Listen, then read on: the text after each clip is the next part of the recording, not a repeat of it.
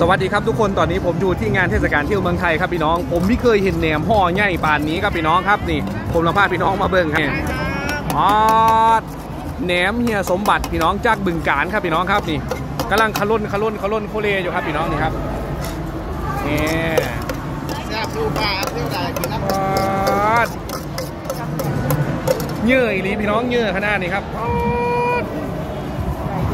อใหญ่ใหญ่ใหญ่ใหญ่มาก นี่ยำเสร็จแล้วก็ยังจกแถมอีกครับนี่ ขายดีขายดี ก้อนใหญ่ๆนี่กี่ร้อยกี่พันครับอันนี้หกหกร้อยครับพี่หกร้อยเหรอครับหกร้อยบาทครับหกร้อยบาทครับพี่น้องก้อนนี่เด้กันร้อยหกสิบครับร้อยหกสิบนี่พี่น้องเหนียมจากบึงการพี่น้อง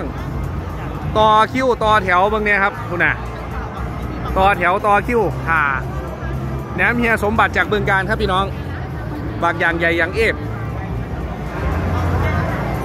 มีอะไรอะไรก็ใหญ่ไว้ก่อนเนาะใหญ่ไว้ก่อนใหญ่ไว้ก่อน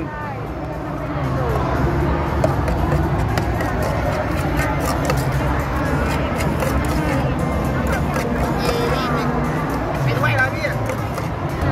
นี่พี่น้องงานเทศกาลเที่ยวบางไทย มีวันนี้แล้วก็อีกพรุ่งนี้นะครับเป็นวันสุดท้าย เห็นมองไหนเป็นตะแสบกระสินพามาเบิ่งพี่น้อง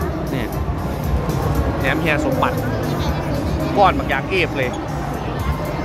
ก้อนละหกร้อยก้อนใหญ่